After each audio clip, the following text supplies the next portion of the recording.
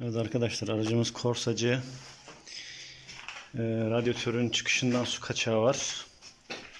Şu bölümden. Bu hortumu da değiştirdik. Yine kesemedik. Büyük ihtimal orada kaçağı var.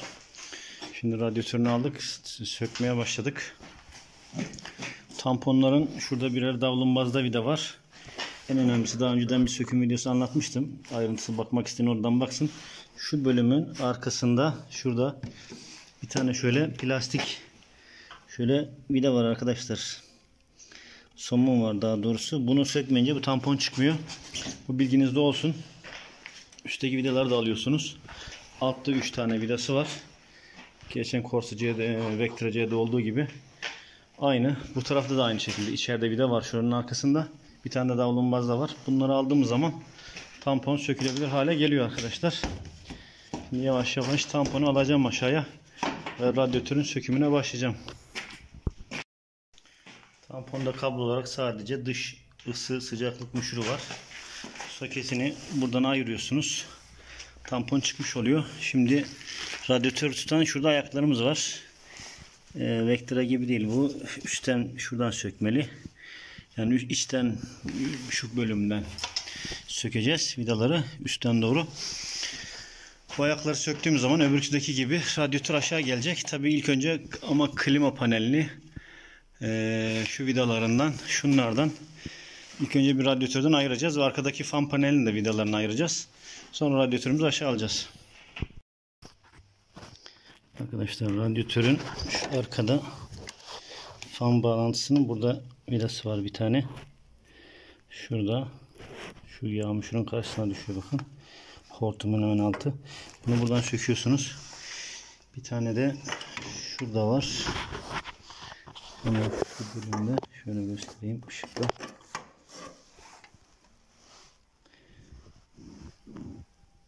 Gördüğünüz gibi bir tane de orada var. Bu ikisini söktüğünüz zaman arka panel ayrılıyor. Ben gevşetmiştim bu tarafın. Bir birini söktüm, birini de gevşettim. Bunu da alayım.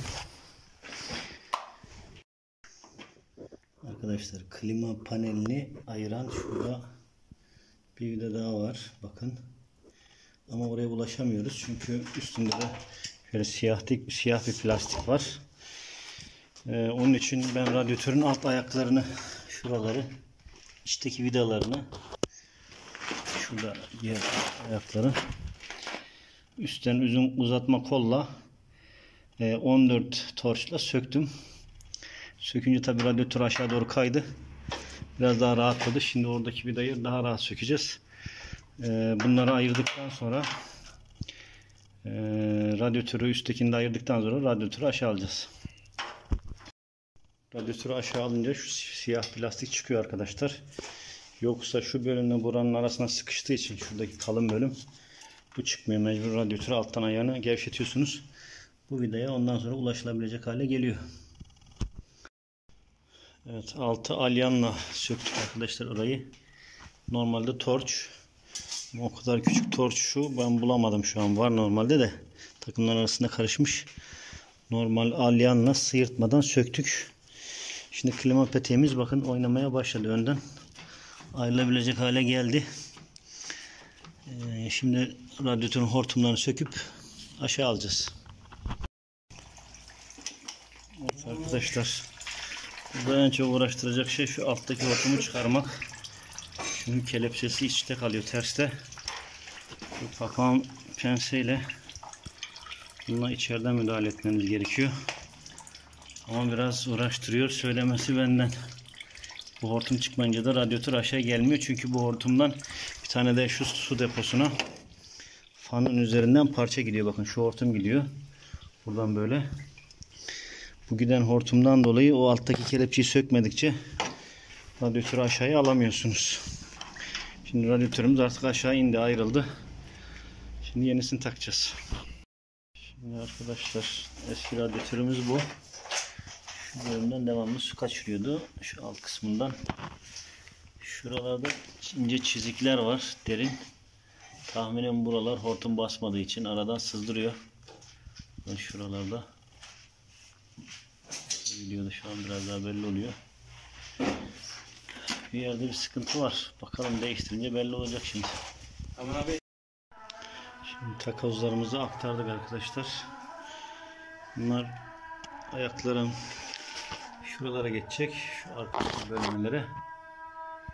Şapkaları. Şimdi ben radyatörü alttan yukarı süreceğim. Alttaki hortumu takacağım. Sonra da üsttekini takıp devam edeceğiz. Şimdi radyatörü oturtuyoruz arkadaşlar. Şuradaki hortumu takacağız. Şöyle göstereyim. Aradaki hortumumuzu takacağız. Tabi bu işlemi yaparken bir tarafı şöyle bir telle tutturuyoruz. Çünkü hem burayla uğraş hem orayla uğraş. Burası aşağı düşüyor. Ee, bu işlemi kolaylaştırmak için hem klima paneli ben önceden telle bağlamıştım. Düşmesin diye. Radyatörün öbür tarafında tek kişi olduğumuz için mecbur böyle.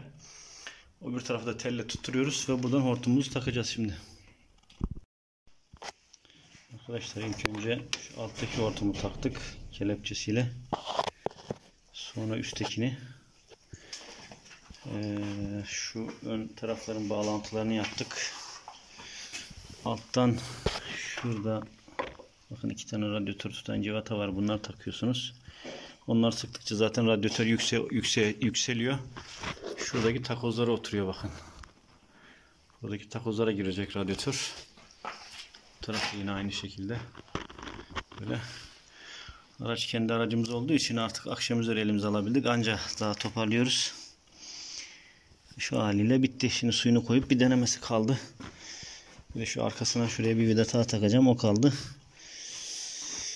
Bakalım ne olacak. Evet arkadaşlar. Radyatörümüzün montajını yaptık. Herhangi bir kaçak gözükmüyor. Eskiden şuradan kaçıyordu buranın dibinden. Kaçağımız kalmadı. Şükürler olsun. Aracımızı da toparladık. Suyumuzu ilave ettik. Bugünlük de bu kadar. Kendinize iyi bakın. Herkese selamlar. Görüşmek üzere.